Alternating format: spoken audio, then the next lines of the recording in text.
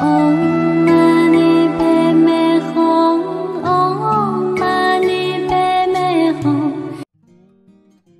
ngàng nhan sắc của người phụ nữ 52 tuổi. Trông trẻ trung bất chấp tuổi tác, không có vết nám hay nếp nhăn là ước mơ của rất nhiều phụ nữ. Masako Mizutani sống ở Nagoya, Nhật Bản đã đạt được điều đó. Sinh năm 1968, Masako Mizutani có một con gái 27 tuổi và con trai 25 tuổi. Nhưng trong các bức hình, Mizutani trông không có sự khác biệt quá lớn về tuổi tác so với con gái. Năm 2011, Mizutani gây chú ý với vẻ ngoài trẻ trung khi cô tham gia một cuộc thi sắc đẹp và giành chiến thắng. Kể từ đó, các nhãn hiệu quần áo và mỹ phẩm lớn ở Nhật đã mời cô làm người mẫu.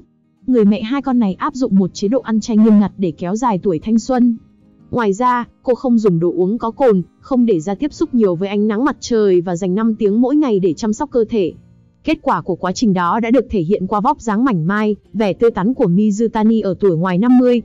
Trên trang cá nhân của mình, cô chia sẻ với mọi người cách duy trì lối sống lành mạnh và mẹo làm đẹp. Mỗi ngày, Mizutani ăn 4 lần với khẩu phần nhỏ. Mọi người nên ăn thực phẩm tươi để có làn da và cơ thể đẹp.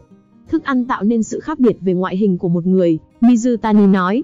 Đây là một lời khuyên quan trọng vì ăn quá nhiều sẽ dẫn đến béo phì, nhất là nhiều người thích đồ ăn vặt.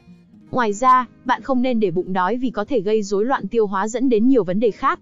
Mizutani gợi ý, bạn nên tập thể dục thường xuyên và giữ cho cơ thể, tâm trí hoạt động để luôn tươi trẻ. Bạn cần ngủ đủ giấc và tránh xa việc hút thuốc. Chúng ta thường được khuyên phải tuân theo các thói quen như trên nhưng cuối cùng phớt lờ, dẫn đến những căn bệnh mà lẽ ra có thể tránh được. Để có một làn da khỏe mạnh, Mizutani hay ăn trái cây, sữa, các loại hạt và rau.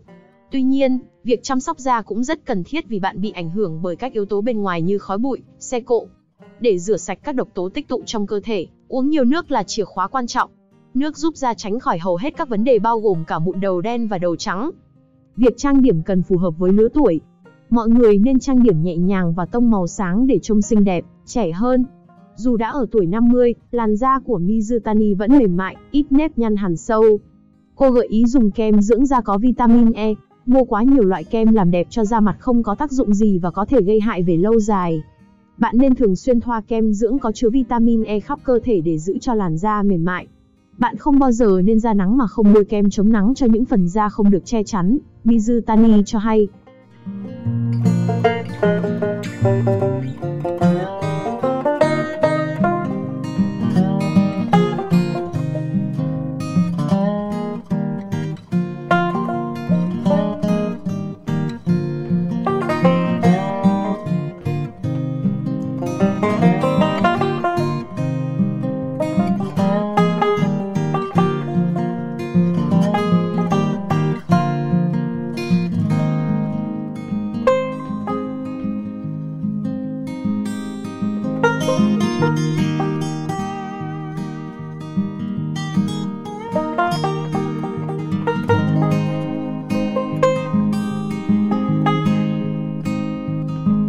Música